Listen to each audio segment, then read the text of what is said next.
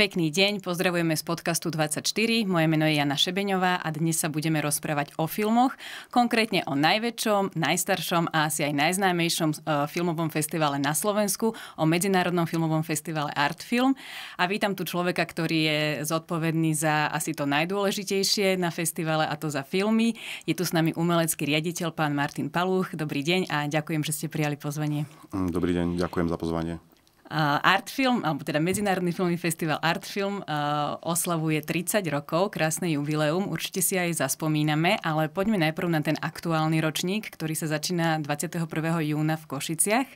Prinesie desiatky filmov, krátkých aj dlhometrážnych, asi sa nám ich nepodarí vymenovať úplne všetky, ale môžeme si povedať aspoň sekcie, v ktorých budú uvádzané a možno také highlighty z nich. Áno, no tak e, naozaj oslavujeme 30. jubileum, čo je výnimočné aj pre nás. Čo sa týka programových sekcií, tak v podstate sme pripravili 13 sekcií. Z toho sú tri súťažné. Z tých by som spomenul už tradičné súťaže ako medzinárodná súťaž prvých, druhých a tretích hraných filmov. Potom je to medzinárodná súťaž krátkých filmov a tento rok sme pridali novú sekciu medzinárodnú súťaž filmov zo strednej a východnej Európy. Mm, z ďalších sekcií sú to opäť tradičné panoráma, taká prehliadka súčasnej svetovej kinematografie, kde sú naozaj významné filmy známych režisérov, ako Wim Wenders, Alexander Kluge, ale taktiež uh, filmy od Alana Akina alebo od Sofie Kopoli, čiže to sú vlastne také známe mená. Ďalej máme takú experimentálnejšiu sekciu, kde náš selektor Martin Ciel vyberá filmy, ktoré sú inovatívne z hľadiska formy alebo výrazových prostriedkov. Potom samozrejme môžem spomenúť e, sekciu výročia so Slovenským filmovým ústavom, čo je vlastne taká sekcia venovaná digitálne reštaurovaným filmom. Čiže tam uvidíme filmy, ktoré sú venované osobnostiam slovenského filmu, ale aj slovenského herectva, ako Ladislav Chudík a Jozef Kroner, ktorí majú tiež svoje jubileá, ale takisto filmy pri príležitosti 80. výročia SMP. Veľmi obľúbená sekcia, veľmi atraktívna tento rok bude sekcia Slovenská sezóna, v ktorej odpremierujeme 7 nových slovenských filmov, čiže tieto filmy uvidia diváci v premiére, čo je tiež veľmi výnimočné. Potom máme sekciu pre deti, takisto e, sekciu, ktorú vyberal Pavol Pekarčík.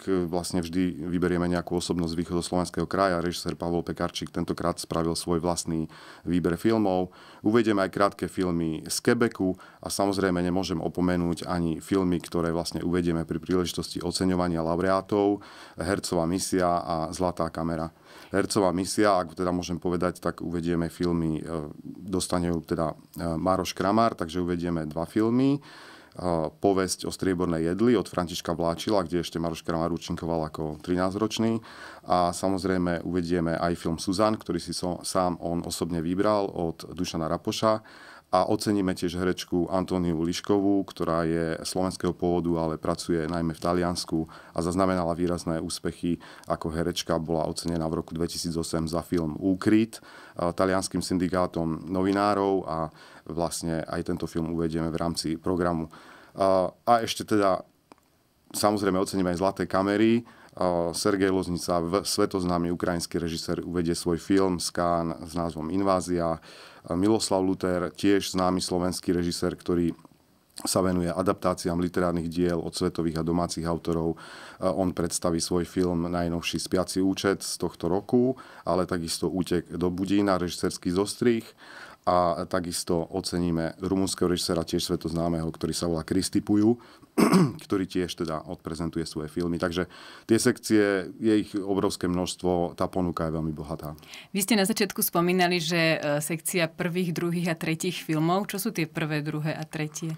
Áno, sú to vlastne filmy debutujúcich režisérov, ktorí e, vytvorili svoje prvé, druhé alebo tretie celovečerné hrané filmy. Čiže táto súťaž je obmedzená len na prvú trojicu celovečerných filmov týchto režisérov. Je to vlastne veľmi atraktívna sekcia.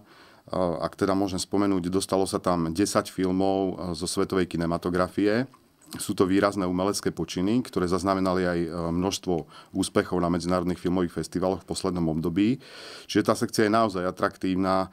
Tie filmy sú ukážkové, zaujímavé, žánrové, takže táto sekcia je týmto zaujímavá.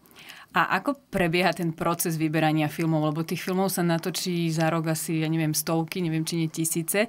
Ako z nich vyberáte to, čo sa dostane na váš festival?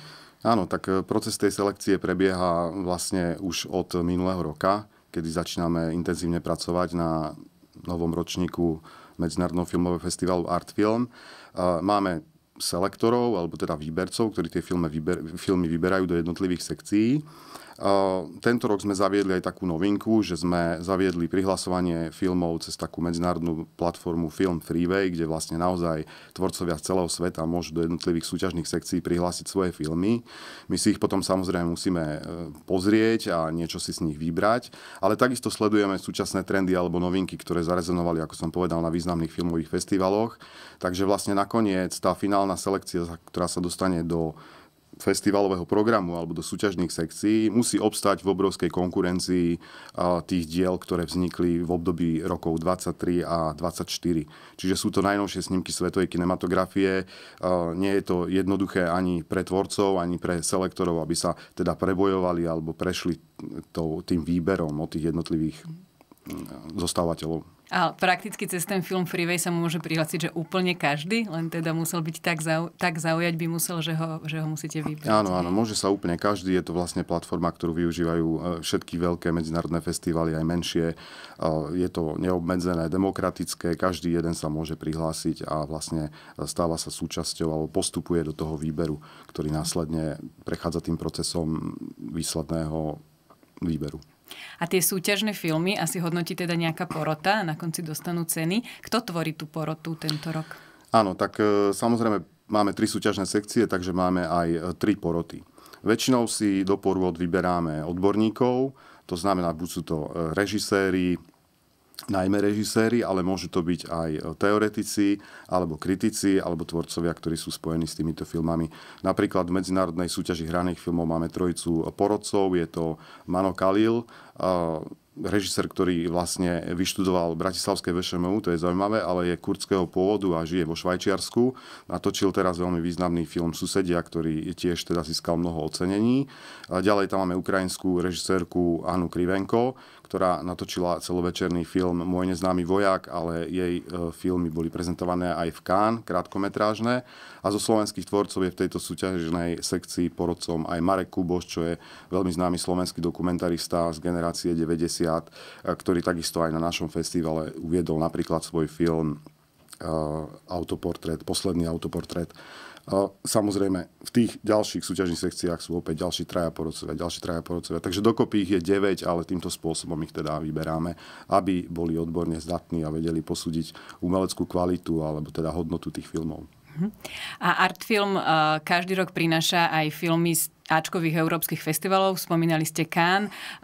Čo sa podarilo uchmatnúť tento rok? Možno nielen z Cannes, ale aj z iných prestížnych podujatí. Áno, tak e, toto je väčší boj, vlastne, o ktorý sa usilujeme, pretože sme veľmi krátko po Medzinárodnom festivale v Cannes, čo je vlastne také najvýznamnejšie podujatie, ktoré sa venuje svetovej a európskej kinematografii, najmä tej umeleckej. A my sme veľmi šťastní, že sa nám podarilo vlastne uloviť niekoľko titulov. Mohli sme si tento rok dokonca vyberať, takže sme nezobrali všetky, ktoré sa nám ponúkli ponúkli, ale vyberali sme naozaj lahôdky a môžem spomenúť napríklad e, film Substancia od Coralie Farge, čo je vlastne francúzska režisérka. E, v tomto filme uvidíme nestarnúcu Demi Moore, ktorá si zahrala vlastne v takom dosť satirickom, kritickom, miestami až hororovom žánre. Je to svojím spôsobom také trošku sci-fi, ktoré pojednáva o tom, o túžbe po omladzovaní a o celej tejto kultúre omladzovania, kedy sa neprihľada na prirodzené starnutie ženy a vlastne táto satiricko-kritická lahôdka bude veľmi šokujúcim príspevkom do nášho programu, takže na to veľmi pozývam. Potom samozrejme musím spomenúť film Záblesky nádeje, od Payal Kapadie, čo je indická režisérka. Je to vlastne film, ktorý získal Grand Prix, čiže druhú najvýznamnejšiu cenu na festivale v Cannes Samozrejme, môžem spomenúť aj filmy, ktoré sa dostali do súťažných sekcií. V medzinárodnej súťaži hraných filmov budú uvedené dva filmy z Cannes. Jeden sa volá Pane Bože od režisérky François Courvoisier, francúzskej režisérky. Film, ktorý je venovaný mládeži, získal aj cenu mládeže na festivale v Cannes. Odohráva sa na francúzskom vidieku, v takom farmárskom prostredí a samozrejme tam film aj Dievča s ihlou, čo je vlastne taký monochromatický čierno thriller, ktorý vlastne pojednáva o o jednom kriminálnom prípade, jednom z najväčších v dánskej histórii, ktorý sa odohral tesne po prvej svetovej vojne a bude sa týkať adopcií detí a nebudem prezrádzať ďalej. A samozrejme tým piatým filmom je najnovší film Sergeja Loznicu, laureáta Zlatej kamery. Je to film Invázia, vlastne je to taká epopeja na odhodlanie ukrajinského národa postaviť sa vojne, ktorá momentálne prebieha, nakrúcal ho dva roky, mal premiéru v Cannes v sekcii zvláštne uvedenie, takže to je opäť lahvodka, na ktorú pozývam aj vzhľadom na to, že Sergej Loznica bude na festivale prítomný, takže diváci ho môžu osobne stretnúť. Z tých ďalších filmov, ako vravím, to je tam napríklad film Ray, ktorý vyhral Rotterdamský filmový festival potom sú tam filmy z Benátok, je tam otvárací film sekcie Panoráma z Berlína, ale tohto ročného, ktorý sa volá Mosty. Takže naozaj ten výber je široký, ponuka bohatá, je toho veľa. Veľa tých filmov asi aj tak reflektuje uh, súčasné dianie vo svete. Objavuje sa tam vojna, uh, policajné násilie v USA a takéto témy asi rezonujú tento rok. Áno, tematicky je to veľmi široké a bohaté, pretože vlastne ako keby každý ten režisér chcel svojím spôsobom byť aj angažovaným, vyjadrovať sa k súčasným problémom, k súčasnej situácii, či už k postavenia žien, k sexuálnemu násiliu, presne tak k politickému násiliu a k takýmto e, rôznorodým témam, ktoré hýbu spoločnosťou vo svete, ale samozrejme sú typické aj, aj pre nás a teda reflektujú ich vo svojich filmoch a preto to umelecké stvárnenie, alebo či už je to téma historická alebo zo súčasnosti, vždycky reaguje na tieto problémy. V ostatných rokoch sú veľmi populárne aj seriály a objavujú sa teda už aj na veľkých festivaloch, že sa premietne buď prvý diel alebo prvé dva. Bude niečo takéto aj na Medzinárodnom filmovom festivale Artfilm? Áno, bude. Tento rok sme sa rozhodli špeciálne uviesť aj seriál. Bude to španielský seriál z roku 2023, ktorý sa volá Mesiáš. My sme si ho vybrali, pretože má množstvo e, ocenení zo Španielska a nedá sa nájsť žiadnej, žiadnej streamovacej spoločnosti, čiže divák, diváci ho nemali možnosť vidieť. Je to ucelený seriál, šesťdielný, to znamená, že diváci si môžu pozrieť hneď všetkých 6 častí. Bude to taký, a taký, naraz. Bude to taký maratón samozrejme s prestávkami, ale vybrali sme ho práve tým, že ho slovenský divák nemá možnosť vidieť a bude to len taká ukážka tejto španielskej seriálovej tvorby, takže pozývame srdečne, uvidíme, ako to vypáli. Španieli sú úspešní v tých seriáloch, ja často počúvam, že e, sú také chválené, takže uvidíme, aký bude tento. A na festivaloch je také uh, typické aj to, že tie filmy alebo aj seriály prídu uviesť samotní tvorcovia. Vy ste spomínali uh, Sergeja Loznicu a kto ešte príde? Áno, tak spomínal som Sergeja Loznicu. A samozrejme príde aj Kristy Puju a príde aj Miloslav Luter, čiže vlastne laureáti prídu. A tá zaujímavosť je v tom, že, že títo traja režiséri budú viesť svoje masterklasy. To znamená, že máme tam vzdelávaciu platformu, ktorá sa volá Art Film Industry. A táto platforma je vlastne zameraná presne na takéto prezentácie, kde vlastne diváci budú mať možnosť nazrieť do režisérskej kuchyne týchto veľkých osobností svetového alebo slovenského filmu, ale budeme sa venovať aj seriálovej tvorbe. Napríklad Michal Kolár bude hovoriť o, o tom, ako vytvára svoje filmy, bude prezentovať svoj nový film, alebo teda staronový film. Je to film Vila Lucia, ktorý už mal síce premiéru, ale uh, Michal Kolár si pripravil režisérsky zostrih, čiže ten film reeditoval, upravil a je to úplne, úplne nová verzia, ktorá bude prvý prvýkrát prezentovaná na Artfilme, tak on bude hovoriť o tomto filme, ale aj o seriálovej tvorbe, ktorú pripravuje aj v spolupráci s televíziou JOJ. Budeme prezentovať mysteriózny e, detektívny seriál, ktorý sa pripravuje s názvom Lovec. Ten príde e, predstaviť producent Patrik Páš.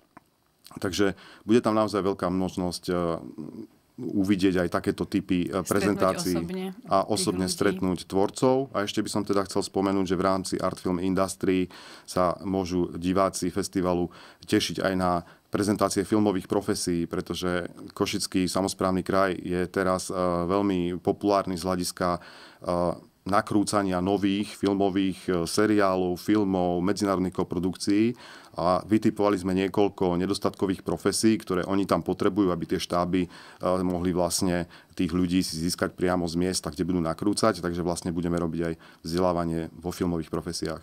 Čiže môže tam prísť nejaký študent, ktorý napríklad by chcel byť zvukár a tam si ho Presne nejako tak. skúšajú? keby chcel byť zvukár, mm. gradista, kostýmový výtvarník, alebo by sa chcel venovať výrobe rekvizít, alebo by chcel byť videoasistent. Všetky tieto profesie tam budú prezentované profesionálnymi z praxe. Takže mhm. vlastne nemusí to byť iba študent, môže to byť úplne ktokoľvek, kto má záujem o takýto typ profesí. To je asi v rámci sprievodných podujatí.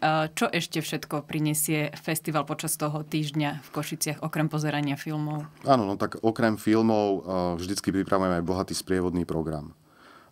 Ten program pozostáva vlastne z rôznych typov eventov. Môžem spomenúť napríklad talk show Milana Koncula Bešepkára, čo je veľmi populárna košická postavička, ktorá vlastne robí túto talk show pravidelne a špeciálne kvôli Artfilmu si pripraví 97. vydanie, kde vyspovedá hostí festivalu. Budeme tam mať aj talk show Baláž a Hubinák, ktorí vlastne vyspovedajú našich laureátov Maroša Kramára a Antóniu Liškovú.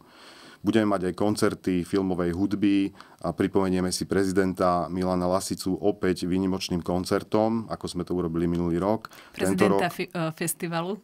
Áno, bývalého prezidenta festivalu, ktorý už bohužiaľ nie je medzi nami, ale my si ho natoľko vážime, že teraz sme sa rozhodli aj tento rok zaradiť koncert Petra Lipu s názvom Lipa spieva Lasicu. Ako som spomínal, bude tam ďalší koncert filmovej hudby, ale budú tam aj výstavy fotografií, opäť nášho veľmi drahého priateľa Stibora Bachratého, ktorý nás tiež opustil minulý rok, si pripomenieme výstavou jeho fotografií z festivalu ktoré za veľkú históriu teda nášho festivalu vytváral a spolupracoval s nami. Ďalej tam bude prezentácia výstavy fotografií Miran Votu, bude tam krst knihy s názvom Máme svoj film. Je to vlastne prezentácia publikácie, ktorá vznikala 10 rokov a venuje sa filmovej kultúre slovenskej z obdobia 1939 až 1945, čiže to je taká unikátna tiež záležitosť. Ale uh, budú tam aj ďalšie eventy. Je toho naozaj veľmi, veľmi veľa. A budete mať aj niečo špeciálne e, na oslavu 30 Nejaký event? A v podstate všetky tieto, tieto eventy sa nie, budú niesť v duchu tej mm-hmm. oslavy 30. 30. jubilea. Pripravili sme napríklad aj ako festival takú špeciálnu pamiatkovú publikáciu, ktorú budeme prezentovať pri tejto príležitosti, ktorá bude pozostávať vlastne mm, z fotografií, z textov a zmien ocenených aj filmárov, ale aj osobností, ktorí získali hercovú misiu alebo zlatú kameru. Takže aj to bude jedno z takých, z takých podujatí Takže je to naozaj dosť.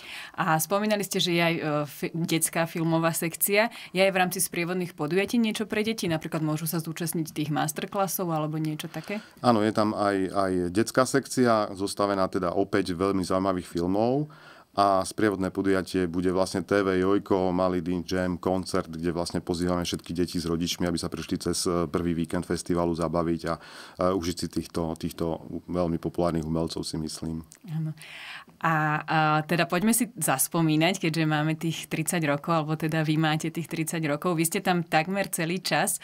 Uh, začínalo sa v Trenčianských tepliciach, dlhé, dlhé roky to tam bolo, potom pred 8 rokmi ste prešli do Košic. Aký bol ten prechod? Lebo už to bolo také, uh, že diváci to asi mali zapamätané, že je to v tých tepliciach a potom ste začali v Novom meste.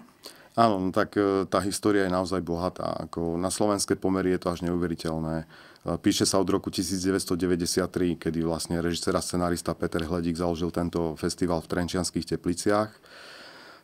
Potom samozrejme tá história pokračovala. V roku 1995 sa začala udelovať prvýkrát cena Hercová misia a prvým oceneným bol Franco Nero, talianský, talianský herec.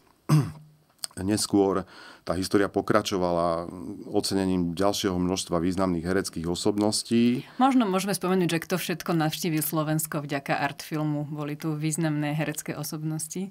Tak samozrejme, tých osobností je nesmierne množstvo, ale z tých najväčších hereckých legend alebo hviezd môžeme spomenúť Omara Šarifa, Žána Paula Belmonda, eh, Geraldine Chaplinovú, Annie Girardot, Liv Ullman, Jeremy Ironsa, Bena Kingsleyho, čiže to sú naozaj obrovské mená, ktoré navštívili festival. A ako ste hovorili, vlastne v roku 2016 došlo k tomu prechodu do Košíc, ale bolo to vlastne z praktických dôvodov, pretože ten festival sa rozrastal, bol čoraz väčší a jednoducho potrebovali sme lepšie kinosály, väčšie množstvo kinosál, väčšiu kapacitu ubytovania a tak ďalej. Čiže jednoducho ten festival aj vzhľadom na svoju históriu, na svoju veľkosť a na svoju vlastne jedinečnosť potreboval reprezentatívnejšie priestory, nazvime to tak, ale hlavne väčšie množstvo tých, tých priestorov a lepšiu infraštruktúru, ktorú takýto festival potrebuje. A našli sme takéto miesto práve v Košiciach, ktoré ako stvorené na takýto typ festivalu, kde vlastne všetky eventy sú na pešo a môžete len prechádzať a užívať si festivalovú atmosféru filmového festivalu. A myslím, že sa to naozaj podarilo, že tie Košice žijú tým festivalom, je to tam cítiť doslova z každého rohu. Ešte by ste nám mohli povedať také, povedzme, že tri filmy, ktoré by si divák určite nemal nechať ujsť na tohto, tomto ročníku a môžete dať medzi ne aj jeden slovenský alebo z tej slovenskej sekcie. Tak samozrejme, je to veľmi ťažké uh, vybrať tri, ale tak určite tá, subst- tá substancia je veľmi zaujímavá. Mm-hmm. Potom samozrejme záblesky nádeje, ktoré som spomínal, ktoré majú cenu Grand Prix Cannes. Z tých slovenských filmov musím spomenúť, e, pretože budeme hrať 12 slovenských premiér naprieč všetkými sekciami. A to Naj... sú všetko, ktoré sa za rok, uh, za uplynulý rok? Nie, nie, nie? To, sú, to, sú, to sú všetko premiéry. Čiže mm-hmm. vlastne tieto filmy nemohol nikto na Slovensku ešte vidieť. Prvýkrát budú môcť byť videné iba na Medzinárodnom film festivale Art Film. Čiže z tých filmov spomeniem napríklad film Zenit od Georgia Krištofa, ktorý bude v súťažnej sekcii hraných filmov také dystopické sci-fi, ktoré je zaujímavé tým, že e, sa vyjadruje jazykom moderného tanca, čo je také ako celkom zaujímavé bez slov. Potom by som spomenul napríklad premiéry filmov ako Pokiaľ žijem od Romana Ďuriša, to je opäť nový slovenský e, film debutujúceho slovenského režiséra. Budeme mať aj dve svetové premiéry slovenských filmov Eh, ako je film Aquabeli Sprandorfa, čo je film Pala Korca, známeho slovenského režiséra a taktiež bude mať svetovú premiéru film Via Slovakia, čo je vlastne opäť vlastne celovečerný debut Víťazoslava Chrapu. Je to vlastne film o ceste jedného turistu, ktorý vlastne obišiel hranice Slovenskej republiky, takže vlastne bude to taký, taký veľmi, veľmi zaujímavý film.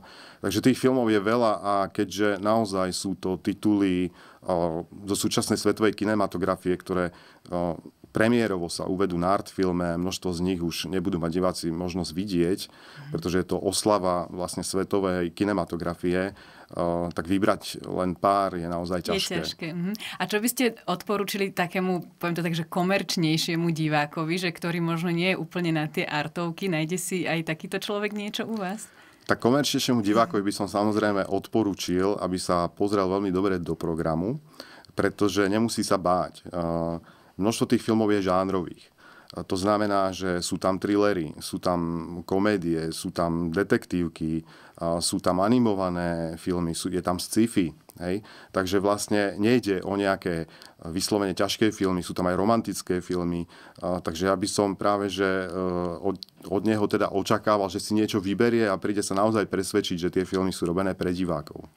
E, určite aj rozširujú obzory, keď si ich takto človek pozrie. Ďakujem veľmi pekne za všetky e, informácie, bolo ich naozaj veľmi, veľmi veľa. Držíme palce, nech festival vyjde, nech všetko klapne a nech dobre oslavíte tú 30 Ďakujem veľmi pekne. Bol, bol tu s nami umelecký riaditeľ Martin Paluch.